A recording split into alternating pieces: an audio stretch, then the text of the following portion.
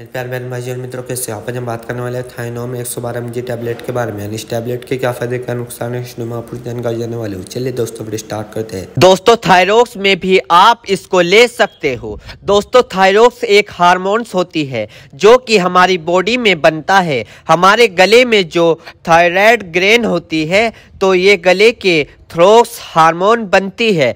आपने अक्सर सुना होगा T three T four T S H ये क्या होते हैं? ये थायरोक्स हार्मोन्स होते हैं। ये हमारी बॉडी की ग्रोथ के लिए ज़रूरी होते हैं।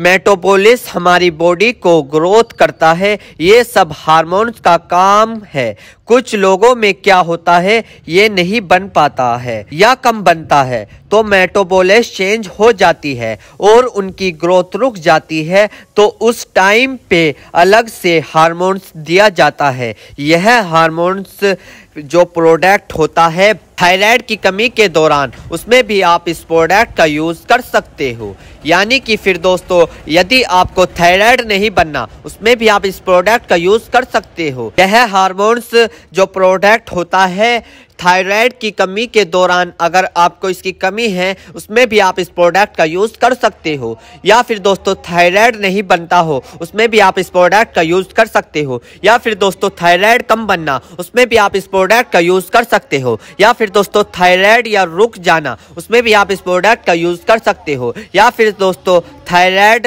थायरोडम्स हो जाना। उसमें भी आप इस प्रोडक्ट का यूज़ कर सकते हो। या फिर दोस्तों मैक्सिडी कोमा की प्रॉब्लम्स हो जाना। उसमें भी आप इस प्रोडक्ट का यूज़ कर सकते हो। या फिर दोस्तों, थायराइड ग्लैंड में इन्फेक्शन विहीन बढ़न शरीर में कमज़ोरी, गले में सूजन रहना, उसमें भी आप इस प्रोडक्ट का यूज़ कर सकते हो।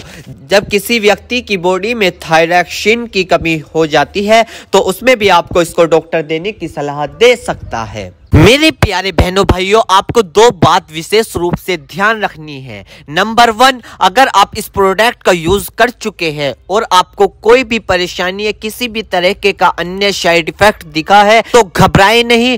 तुरंत इस प्रोडक्ट को लेना बंद कर दे और अपने डॉक्टर से संपर्क करें। नंबर टू किसी भी प्रकार की अन्य मेडिसिन या किसी भी अन्य प्रकार का कोई भी प्रोडक्ट अपने डॉक्टर के सलाह के नहीं लानी चाहिए, क्योंकि मरीज़ की पेशेंट की उम्र अकॉर्डिंग अंदर बॉडी में क्या चल रहा है, क्योंकि दोस्तों, हर आदमी के अंदर अलग अलग हार्मोन्स होते हैं, उनके हार्मोन्स के ऊपर, उनकी उम्र के ऊपर, उनके वज़न के ऊपर, उनकी जाँच करवाने के बाद डॉक्टर दवाइयाँ देता है। इसलिए दोस्तों, पहले अपने डॉक्टर से परामर्श यानी की संपर्क करें, क्योंकि दोस्तों, जान है तो जहाँ है, वरना सब मिट्टी समान है।